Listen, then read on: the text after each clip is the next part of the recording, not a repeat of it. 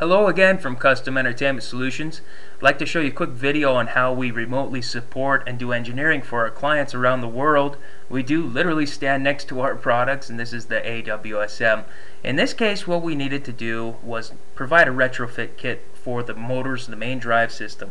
Now because we do detailed 3D modeling from the beginning of the project we have the model and essentially the physical uh, system in our database and we can do this uh, remotely no matter where this product ends up in the world. So let's zoom in really quick on the motors and the drive controls. Unfortunately we did try to push in brushless motor technology inside here. The the motors were fine. The PMAC Mars brushless in-runner motors were great. Unfortunately the motor controllers you see there were completely dysfunctional and had to be returned. Um, this is uh, not a, not a great thing, but you know sometimes pushing technology to the edge, you you run into this.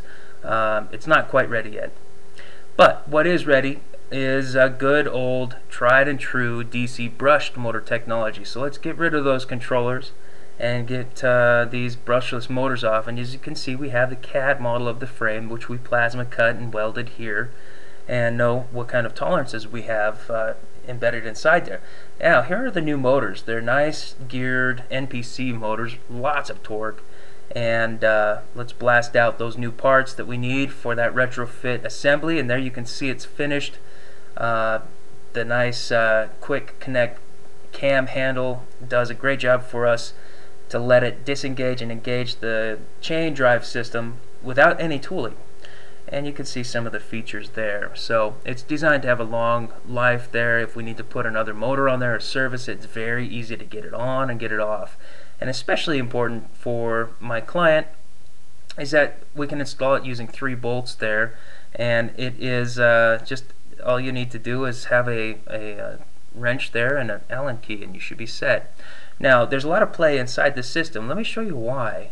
So when you install this onto the AWSM robot, it's important to be able to engage and disengage that chain drive uh, to the treads because it's a very positive system. There is no clutch and those gear motors do not rotate unless they're powered. That could be an issue unless you uh, have the batteries charged all the time, which we all know that won't be the case. So by undoing that cam lock handle you can actually, and the two safety bolts that are next to it, those are grade 5, 3 8 16 bolts, you can loosen that and slide that assembly uh, backwards or forwards. Now that'll either add tension to the chain or disengage the chain system entirely. To disengage it is beneficial and let it ride on that shaft so that you can actually manually push the robot around if necessary.